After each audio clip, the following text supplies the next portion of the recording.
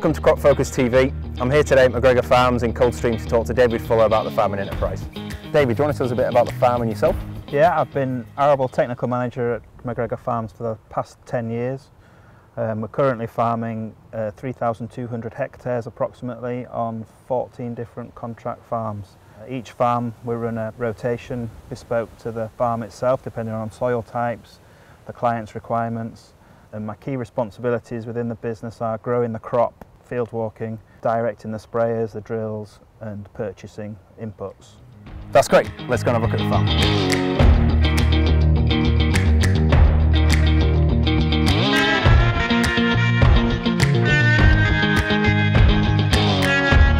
Right James, so here we are in our penultimate wheat field of sowing for the 2018 season. Um, it's a field after potatoes, um, we're just drilling it with a Väderstad drill, quite late in the season now, well for us anyway. It's a heck of a piece of machinery. What, what sort of technology do you have on this, on this piece of kit to help you on the farm? We drill variably, so we use a variable seed rate. We've developed that through soil conductivity mapping the fields first, um, which is a one once in a lifetime thing for the field because the soil textures don't change over time. Um, we can then put the data into our Gatekeeper um, crop recording program and from there we can generate variable rate seed maps depending on the soil, soil types that were found um, with the conductivity scans. Basically we're putting more seed on heavier parts of the field and less seed on the lighter parts of the field based on the expected establishment of the crop. What's the advantages of being able to uh, change um, the amount of seed you put on based on establishment? I think using the system we use we can put digital boundaries around different areas of the field. The drill drivers then not having to make the decisions for himself when he hits a heavier bit of the field and pressing the up 5% button. We're varying the seed up to 40%, so on the very heavy parts of um, the farms and from an expected establishment 55% up to on better ground such as the ground we're looking at at the moment probably 85 90% expected so, establishment. So knocking it up and down 5% um, based on sort of knowledge of the field sometimes isn't quite enough. No, nowhere near enough. I think you have to make big changes to make a difference to the establishment of the crop or the evenness of the final crop um, at harvest. Um, so those big changes are needed and I don't think we'd be brave enough to do that on our own without putting a digital boundary around it and then it's almost done for us. Um, also we'll vary our seed rate according to the time of year so the base rate obviously increases as the season gets later.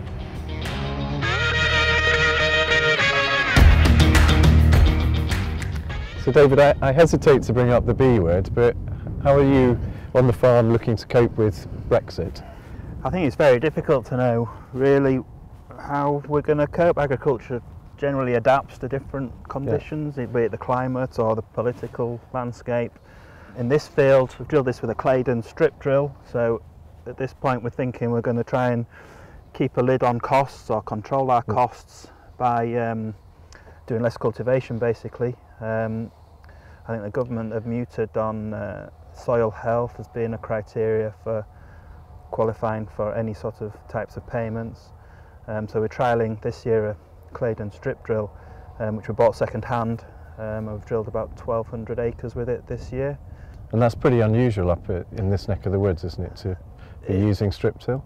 Yeah, traditional methods of um, crop establishment being the plough and a power harrow combination um, in the past, which is a safe way of establishing wheat crops with the climate that we, climate that we get up here. We use a min-till system with a Väderstad drill for the bulk of our drilling, um, but there's uh, only a couple of Claydon drills in the sort of area. Um, and I don't think anybody will have drilled quite as much as we have with one this season for sure. And what kind of benefits do you hope to get from moving to the strip till type approach? I think saving saving a lot of time for ourselves um, obviously it's a one pass system, uh, we're not doing an extra cultivation there or an extra couple of cultivations which we do with our other system, the Väderstad um, Simba system. So saving time, saving fuel and looking after our soil by not moving it unnecessarily.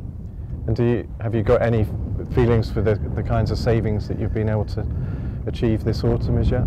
We think we'll save roughly 50% um, of our establishment costs and it's not just about actually saving, we need to maintain our yield. Um, as contract farmers, we've got to make the pots as big as possible to split with our farming clients, so it mustn't be a, a detriment to yield. So that's our biggest biggest challenge is reducing costs.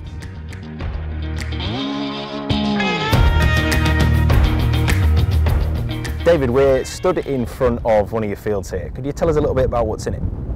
Yeah, so in the fields behind us, we're, um, we've got a cover crop in there. It's uh, mustard. These two fields are destined for um, spring barley next year. And basically, we've taken a spring barley crop off last year um, and then drilled them with our Claydon drill, strip till. And then the plan would be to glyphosate this off in the spring and then drill with spring barley again next year. Straight in with the Claydon. Straight in with the Claydon. So could you just tell us a little bit about the decisions and the, the things you were thinking of when you thought about putting a cover crop in? Yeah, I think the main reason that we established the cover crop is because our harvest was relatively early this year. Normally we'd be combining winter wheat, spring barley in the last week of August, which is a time when we'd normally be sowing oilseed rape. Um, this year harvest was a little bit earlier, so that enabled us to have the time and the machinery to um, drill a cover crop. Nothing more technical than that, unfortunately, but it's given us a look see. We've left, we've left a strip in the middle of the field there to see how much benefit we get from cover crop, and it might just focus our minds a little bit in the future. Have you had any problems with putting them in, or, or are any problems going forward? No, as you can see, we've had quite good establishment. The only thing Yeah, we've got great. is um, volunteer barley, which we've actually sprayed off, so hopefully we'll just have mustard shortly because we don't want a green bridge for the next year's spring barley with spring barley, which was the previous crop, obviously. So, and I think I think we're just looking to improve the structure. We're using the Claydon drill, which is a strip till, which doesn't move a lot of soil, hopefully, and then um, the tine on that on that drill will create the seedbed for the spring barley, with the mustard doing the rest for us. Absolutely, and I think the main thing with cover crops is, you know, the stuff that's going on underneath the crop is just as important as the stuff that's going on Yeah, above. And with the you using it in conjunction, in conjunction with the Claydon, I think you'll uh, you'll have a really good turnout. But it looks great, and uh, we'll see how it turns out. Thanks a lot.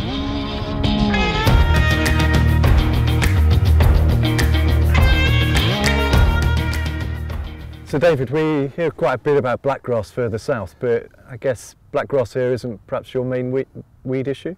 No, grassweed wise, we don't really see much black grass at all. Occasional plants, we hand rogue most all our, all of our wheat fields is hand rogued. Um, we do pick one or two plants, but brome really is one of our sterile brome especially, and we've got a new weed that's given us a bit of bother, which is this fescue that you can see in this field.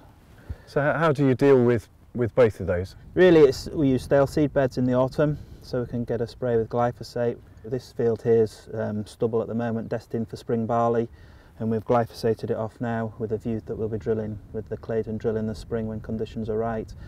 Possibly might need another another spray around the headland, which is where most of the problem seems to be. And you mentioned glyphosate, obviously that's a, a hot topic at the moment. It- What impact would not having access to glyphosate have on your it, business? I think it'll have a huge impact on us. Um, we're moving towards a strip till system, which really relies on glyphosate to get to spray the stale seed bed off before we drill it. Um, also, in our part of the world, we use it as a harvest management tool.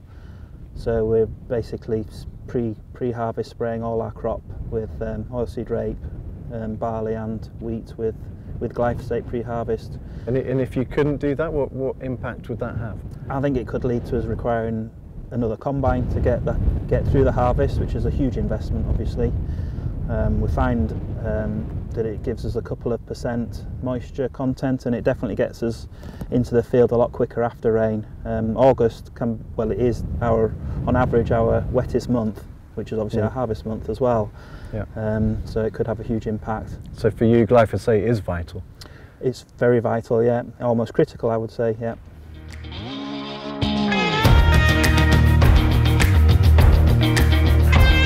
David, we're stood in a, a fantastic looking field of oilseed rape. Can you tell us a little bit about the uh, variety you've put into the ground here, how it fits into your rotation and how important it is to you? Yeah, oilseed rape's probably our most important break crop. We grow potatoes and vining peas. We can't grow potatoes on every farm, nor vining peas. Um, so oilseed rape is our main break crop. Um, so obviously quite critical to our rotations. Well, we grow 100% hybrids on the farm, and the reason we do that is for the, the vigour both in the autumn and the spring, but probably more importantly in the spring when we get um, cold, cold late springs like the spring we've just had. Very important that the crops gets gets up and off. Um, and we grow the hybrids obviously for consistency also in yield. So we're aiming for a consistent yield across 625 hectares um, on 14 different farms. So it's very important that we have consistency in yield. And in terms of establishment, how, how do you go about putting in the ground? The crop's established in a one-pass um, system straight behind the combine after winter wheat, um, probably 70% after winter wheat and some after winter barley on some more challenging land. And we use a Simba SL cultivator to establish the rape. We sow it at 40 seeds per metre squared um, with a liquid fertiliser, starter fertiliser with it as well. So give it a good start. And in terms of challenges that you face with the crop, what, what are they mainly? Biggest um, challenge we find is soil conditions at time of sowing. Um, with two Simba SL, 7 metre SL, so we can drill about 100 hectares a day. So right. we have plenty of output so we can drill on the right days. We've found in wet summers that um, that is pretty pretty gruesome when we get a really wet summer to get the crop established. Um, slugs are a big pressure to us as well. August being our, one of our wettest months, or our wettest month, rainfall wise, um, slug pressure obviously increases towards the time when we're sowing oilseed rape, so slugs can be a bit of an issue as well as it's establishing. And up and down the country, you know, we hear stories all the time in the, in the farming press about uh, cabbage stem flea beetle and, and the sort of dramatic effect it's having on those crops. Uh, is it affecting you here? No, I think we're quite lucky in this area. We don't really see a lot of cabbage stem flea beetle at all. This year we had our first scare since the ban in 2014. Um, quite a bit of shot hole in on some land we have near Kelso in the west west of the ground that we farm. Um, we did spray that in the end just because we were 90% of the plants were getting shot holed. One spray, luckily that was that was the end of cabbage stem flea beetle. And as you can see, the crop behind us, we've not had a, any, any pestilence really this autumn at all. So Which quite happy. Yeah, that's great, brilliant. Well, if you can keep it looking as good as this, I'm sure it'll uh, produce a great crop. Thanks a lot.